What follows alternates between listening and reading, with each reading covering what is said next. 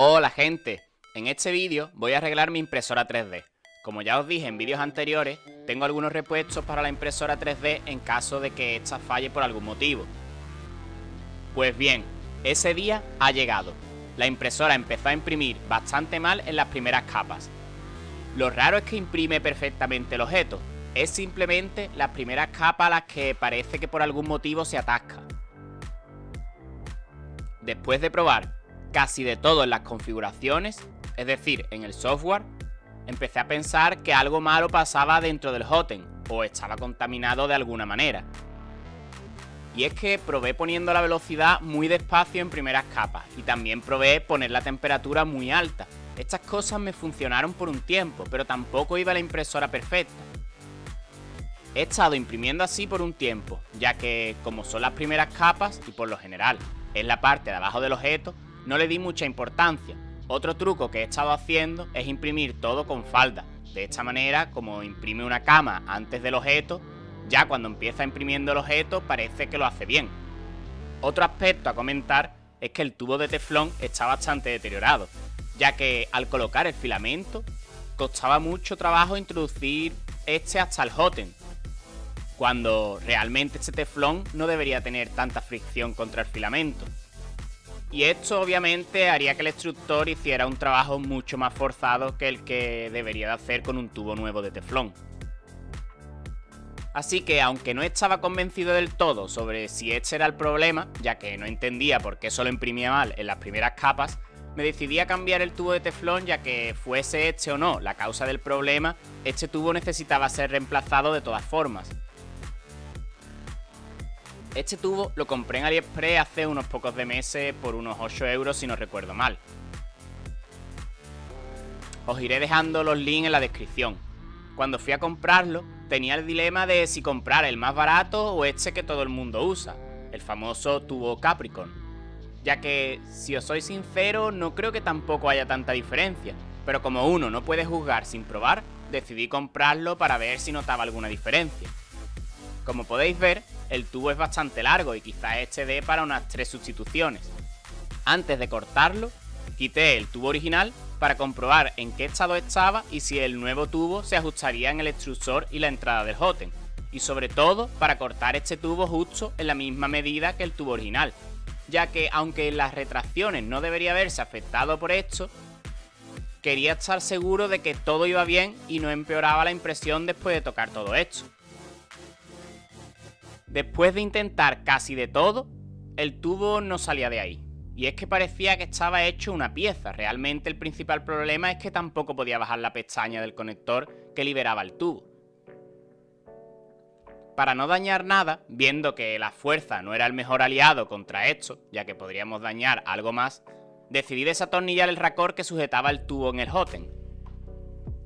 Una vez que conseguí sacar este, observé que el tubo de teflón tenía una especie de grasa negra, estaba bastante confuso con esta grasa, es decir, no sabía si esto tenía que estar ahí o no. La olí para ver si tenía algún olor distinto que me hiciese ver que es una grasa o aislante que tenía que estar ahí entre el tubo y el hoten. Después de esto saqué el racor del tubo y bueno, esto requirió un poco de esfuerzo, pero finalmente salió sin problema. Entonces me decidí a cambiar el tubo. Para ello, lo primero que hice fue cortar el inicio del nuevo tubo lo más recto posible. El segundo paso sería medir ambos tubos para sacar una medida correcta. Esto se hacía bastante difícil ya que los tubos eran muy resbaladizos. Después de marcarlo y cortarlo, aún no estaba completamente satisfecho de si esta longitud era la misma que la del tubo original. Así que para salir de dudas y poder medir el tubo con más precisión, Coloqué unas bridas a los tubos dejando estos sujetos de forma paralela. Una vez que estaba conforme, era el momento de instalar el tubo de teflón. Pero entonces se me ocurrió que ya que iba a modificar el tubo y tocar el hoten, era una buena oportunidad también para quitar la boquilla. Como podéis ver, intenté sacar la boquilla con la llave que traía la máquina y echando el hoten casi frío. Hacer esto sin una herramienta apropiada se hace casi imposible, así que os recomiendo que uséis una llave de vaso y unos alicates para sujetar el hot. Además, si veis que está muy duro, será mejor quitar la boquilla en caliente, ya que mi lógica decía que sería más fácil frío, ya que el metal con el calor se dilata. Además, correríamos el riesgo de quemarnos y la manipulación sería mucho más compleja. Pero viendo que no tenía forma de sacar esta boquilla, me vi con la obligación de conectar nuevamente la máquina. Para ello, la tenía que poner dentro del habitáculo, que es donde tengo todos los cables para esto.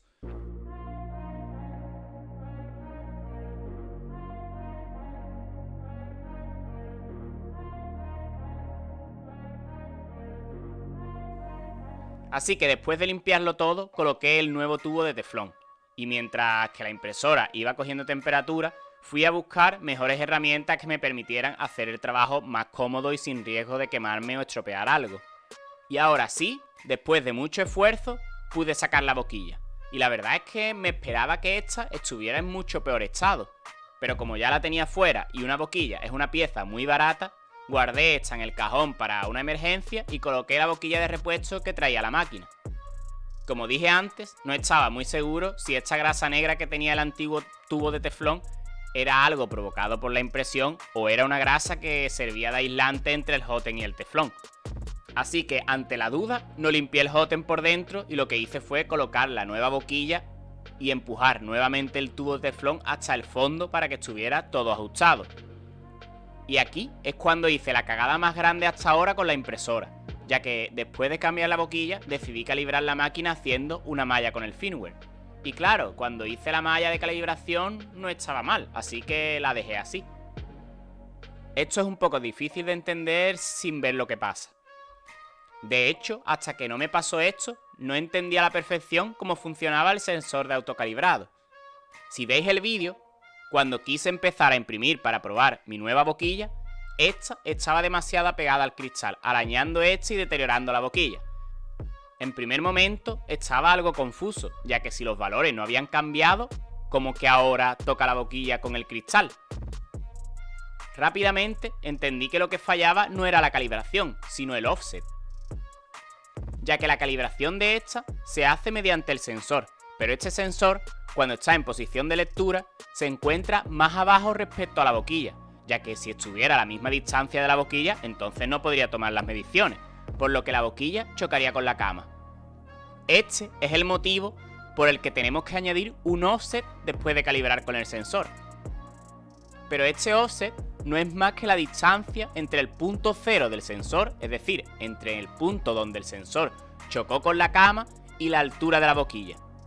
En resumen, es la diferencia que hay entre la boquilla y el sensor cuando está midiendo. De esta manera, cuando el sensor detecta que está a cero, solo tiene que añadir el valor de offset para que la boquilla esté en contacto con la cama, o mejor dicho, en la altura óptima de impresión. Como podéis ver en el vídeo, después de esto limpié toda la cama con alcohol isopropílico para intentar restaurar la cama de la impresora y obviamente me tomé muy en serio la calibración de la máquina ya que no quería cometer el mismo error nuevamente. Primero calibré con un papel y luego calibré con el sensor para dejarlo lo más preciso posible. Después de unos 20 minutos calibrando y sacando unos valores más o menos aceptables, era el momento de probar de nuevo. Ahora, la primera capa parecía hacerla mucho mejor que antes de cambiar la boquilla y tubo, pero algo raro pasaba. Se escuchaba como unas pequeñas explosiones, bueno, más bien como si algo estuviera en ebullición dentro del hotel. Además, las capas superiores quedaban bastante mal, con lo cual algo había hecho mal o simplemente esa grasa no tenía que estar ahí. Así que después de mirar en las guías de Creality, efectivamente había hecho dos cosas mal. Desafortunadamente, me puse el móvil en la cabeza para grabar, pero olvidé darle a grabar. Cuando terminé la instalación y la impresora funcionaba, me di cuenta de que no había grabado nada. Pero bueno, al fin y al cabo, el proceso es exactamente el mismo de antes, Simplemente hay que tener en cuenta dos detalles que yo hice mal. El primero es que tenemos que limpiar cualquier cosa que haya en el hoten. Es decir, esa grasa negra podrá ser una grasa generada con el tiempo del propio filamento. Ya que al parecer no necesita ningún tipo de grasa. Y como ya dije, yo pensé que podía ser un aislante entre el tubo de teflón y el hoten, ya que el tubo queda introducido y así con esa especie de grasa de silicona no dilata el filamento dentro del tubo. Pero se ve que no, que realmente no necesita nada, y eso básicamente lo único que hace es contaminar el filamento e impedir que se quemara bien. De ahí probablemente venía el ruido que yo escuchaba de ebullición.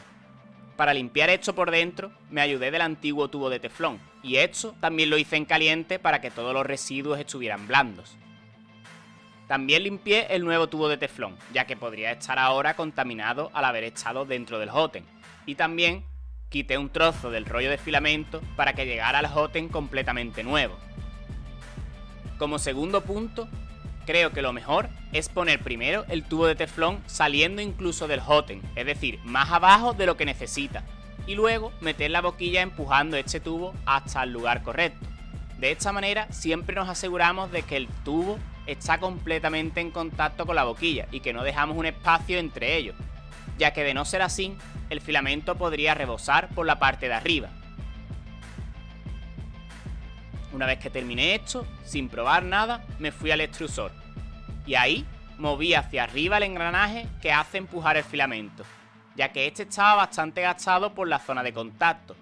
Y puede hacer que esto también influyera, aunque realmente yo no había visto el extrusor saltando pasos, pero más vale prevenir que curar.